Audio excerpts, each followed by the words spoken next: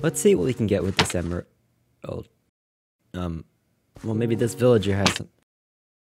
Perhaps his house that. Well, it couldn't get any weirder than that. Hello? No, no, no, no, no, forget it. I think there's something wrong with this village. Oh, thank God this house is not.